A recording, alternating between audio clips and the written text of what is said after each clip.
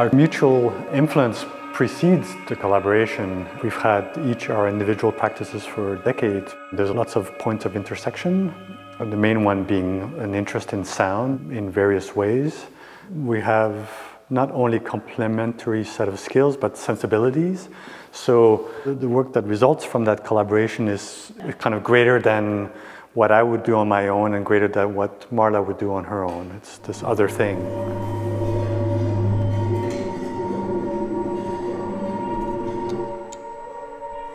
The Glenfiddich Artist in Residence program, you're invited to travel to Scotland to live and work on the grounds of the Glenfiddich distillery for three months. And it's quiet.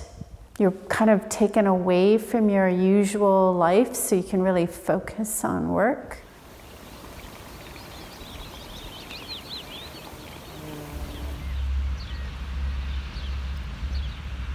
By and large, most artist residencies are hosted by art institutions, and this is not that. It's a factory, they make whiskey. So it's uh, unique for us to be embedded in that kind of context. You become part of the staff, you're wearing the safety jacket, and you get to learn about the whole process of making whiskey. You can tell that people have been working there for decades, or if not generations.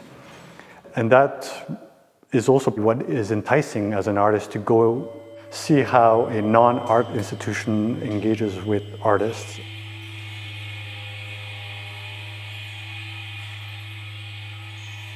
So we had an idea, we had a starting point, which was the idea of examining and paying attention to the act of toasting.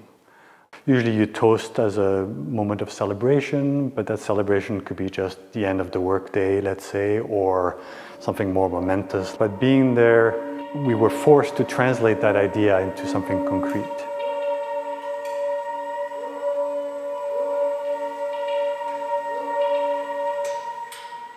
This exhibition has two pieces. One is a large sculptural work called Swan Song. The name derives from the fact that the two main copper objects are called swan necks.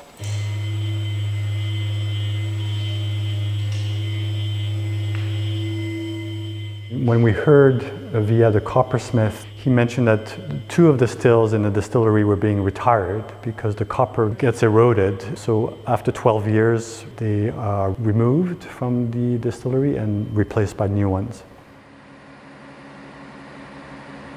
We were at the right place at the right moment, talking to the right person, and then they were cut to our sizing the main reason we were interested in them is that because they look like gramophone horns, so they evoke uh, sound in that way, and also because they're called swan necks, it was really easy to transpose that and use the term swan song. So we use the two necks as resonating containers, and there's three motors that have these copper arms that rotate as they rotate, they hit these switches that are distributed around the table and the necks. And each time they hit a switch, they either turn on a sound or turn off a sound. So you essentially have eight switches, eight audio sources, and three rotating arms that activate or deactivate that kind of create this uh, hard to control composition.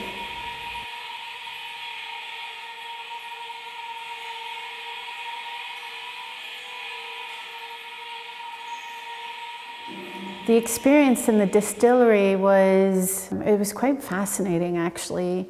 One of the things that is important to us and really did influence how we began to explore this idea, the general idea of the toast, was to explore the sound of the place.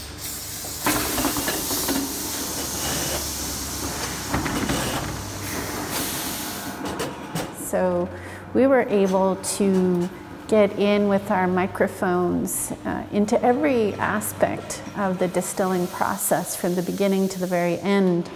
You know, literally going into where they prepared the casks and recorded, going into the bottling floor where they're filling the bottles, But one of the key ones that was kind of fun to do was asking the people to meet with us and tell us a bit about you know what it was to work there, how long they had worked there, and then we asked them to just give us some sound. And we asked them specifically to give us the highest sound they could produce and the lowest sound they could produce and to hold that sound as long as they could hold it. Uh, and that material became the basis of the chorus of Swan Song in the end.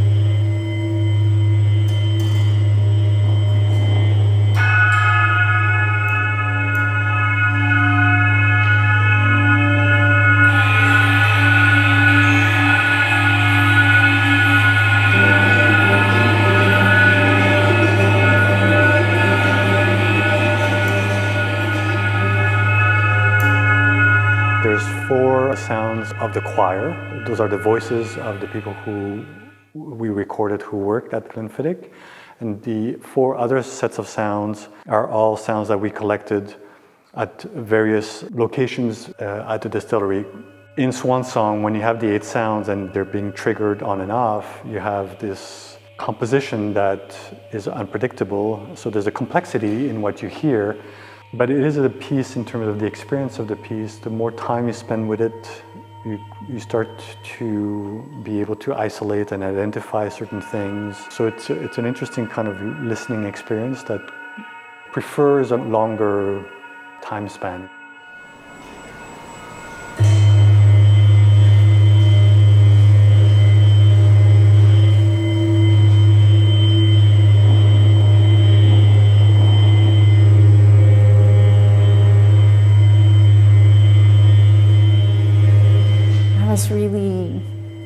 Interested in seeing if I could make something mechanical. And so the more we talked about the toast, the more I thought about these point of contact when you make a toast, when you touch your glass. And for me, the switching mechanism started there.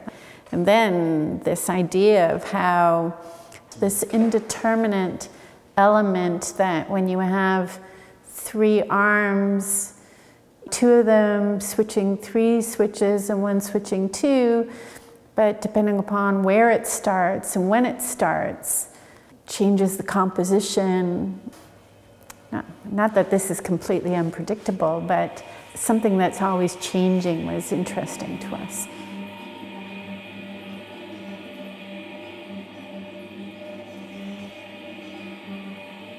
There's, there's two of them, and that's not only because there's two of us, but part of the core initial idea of the toast, what is, you, you don't, you can't toast if you're just one. There's always at least two people. But I think it works well on this table that, I mean, the table oftentimes is the place where a toast happens. So there's all these kind of convergence or relations back to that original idea.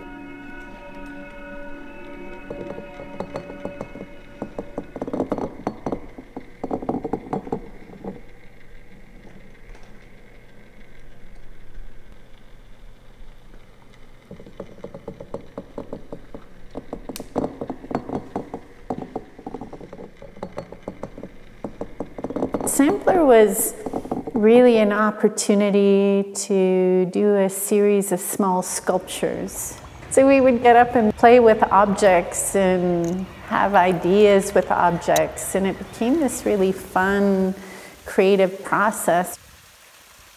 So, one of the things that we encountered was this small, very kind of elite room where these walls of small bottles, and they're called sample bottles, and we, we were quite enchanted by their, their size and shape. Each of us on our own did different things to them. One of the early pieces that we played around with, it essentially takes two sampler bottles and it puts them cap to cap and we drilled a hole through it and inserted a, a, small copper tube between the two bottles so that in one bottle is a Highland whiskey and in one bottle is a Lowland whiskey. And then over time, it's this idea that through this copper tube that connects the two, they would slowly blend. In the cooperage building, which is where they repair uh, casks, it's very, very loud. And the earplugs that they use are uh, these kind of bright yellow and pink earplugs. And they have a dispenser just before you enter the loud area. So one of the ways that we used the sample bottles was by stuffing as many earplugs in that, the bottle, and they're very compacted so the, the title ear pressure evoked, uh, I mean, air flight, but this kind of compression of, of sound inside of a bottle. And I think the kind of linchpin for that particular piece was adding on the bottle cap a volume dial. In the same way that swan song shifts what these objects are called swan necks to swan song, the sample bottles, it was easy for us to switch to sampler, which is also a, a common instrument.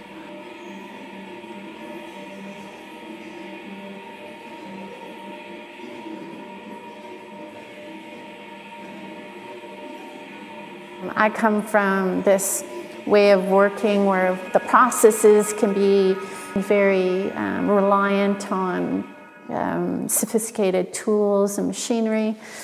And I think one of the things I really enjoyed about being at Glenfiddich is a lot of that was removed from us and we were kind of left in kind of this really direct dialogue with objects and materials and how they could be shaped to, to create meaning as artworks.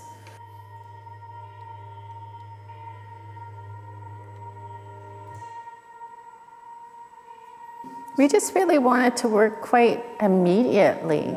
Like we liked this directness with our play process. And I, I, think that was really critical about the time in the residency is that this idea of materials and fabrication were really, really intimately entwined with this idea of productive, resourceful play.